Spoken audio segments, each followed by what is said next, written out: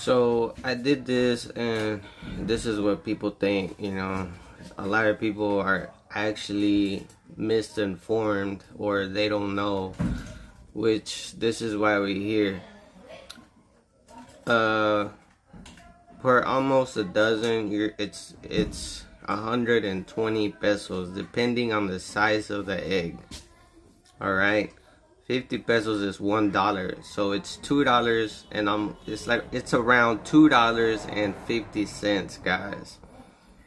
So if you compare the prices of eggs here to the us it's basically the same